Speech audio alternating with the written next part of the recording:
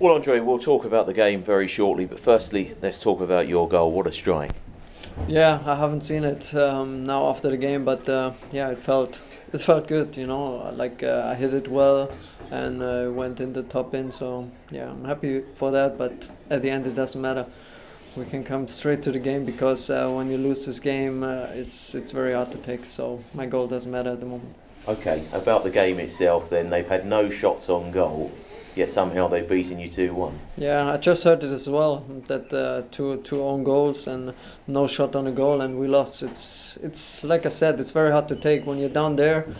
Everything comes at once, so um, yeah, it's very difficult, very disappointing because like uh, the way we approached the game was a must win to to keep pressure on the, the teams above and everything and we couldn't do that so yeah it's hard to take the thing that's even more frustrating perhaps is that you got off to that dream start exactly exactly um as well like we wanted to play like in behind to turn people and uh, get some shots and uh, yeah, with that, normally you should have more confidence and uh, more confidence to play, more to get the ball and uh, try to put pressure on the team. And uh, yeah, the, the exact opposite happened. So we got put in behind. Like uh, they had so many crosses. We wanted to stop crosses but couldn't. And uh, yeah, so the the game changed completely. The first half was not for us, and uh, yeah, the second half we were just unable to score. That's the only thing. You mentioned about that second half. It was better, wasn't yeah. it, in the second period? Yeah, it felt way better. We had more the ball and tried to play, tried to get in behind, tried to put crosses in,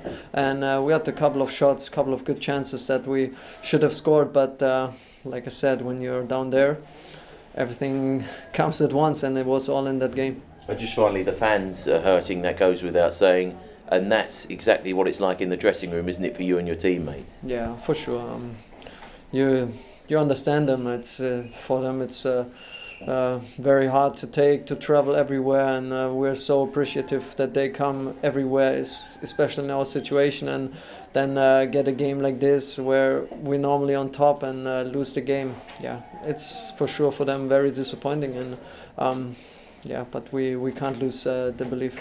Commiserations today. Thanks for your time. Thank you.